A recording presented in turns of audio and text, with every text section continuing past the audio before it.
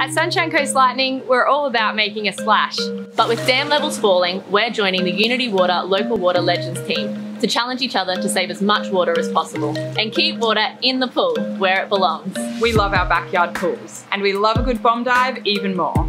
But this summer, there is a new dive challenge to master. The pencil dive! Show us your best diving pose, but stick the landing to make the smallest splash possible.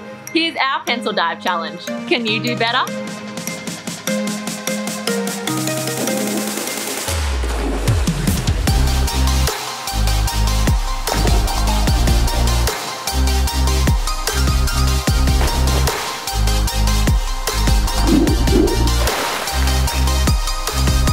Your best pencil dives, tag Unitywater and Sunshine Coast Lightning, and we'll share the best ones.